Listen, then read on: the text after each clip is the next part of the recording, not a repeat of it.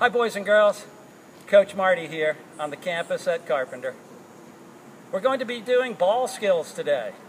You can use a basketball or you can use a playground ball. It doesn't matter. We're simply going to be warming up and learning some new ball skills. Today, I'm going to work with this playground ball.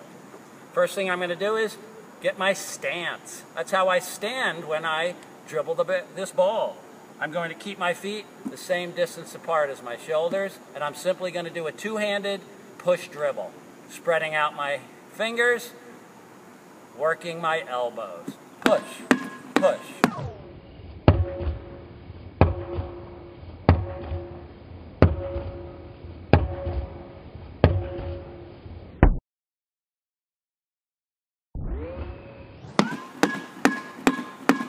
The harder I push, faster the ball comes up. Low. How low can you go? Bring it high. How high can you go keeping your hands on top of the ball? Great job. Now let's just use one hand. Spread the fingers, use the elbow, and push, push, push, push, push. There you go. Remember, faster comes up harder. There you go. Low. High. Switch hands. There you go. Get your dribble going. Spread out the fingers. Work the elbow. Push, push, push. Push. Nice. Low. Get it high. Great. You've got your right hand. You got your left hand. Let's combine the two with a crossover. Push, push, push, push, push. You're creating the letter V in your crossover. Push. There you go. Now low. Get it low. Same concept. Get it higher. Learn to control the ball. Great job. Right hand, left hand, right and left hand. Now let's put some movement to this. Let's get the leg over the ball. Get your leg over the ball.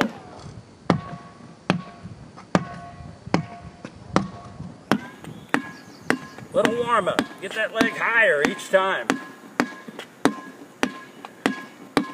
Great job. That's leg over.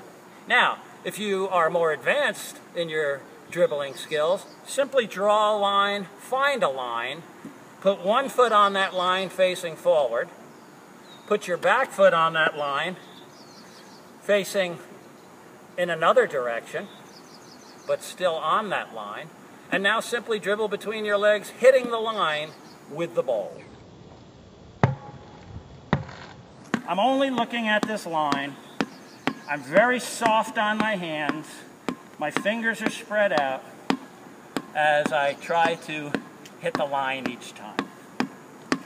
Dribbling between the legs. It's a great skill and a fun skill. Now, let's do some ball skills without dribbling. First thing I'm going to do is drop, spin, catch. Drop the ball, spin my body, and catch it. The ball can only bounce once.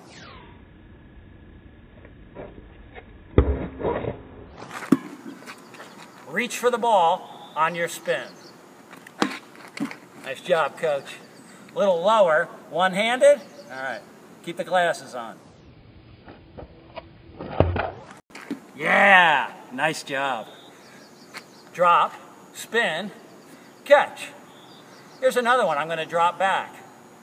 Throw, clap, catch.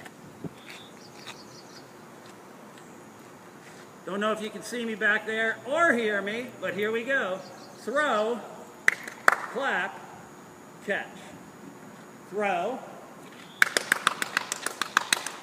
catch. 12. Count how many times you can clap and try to improve your number each time. Here we go.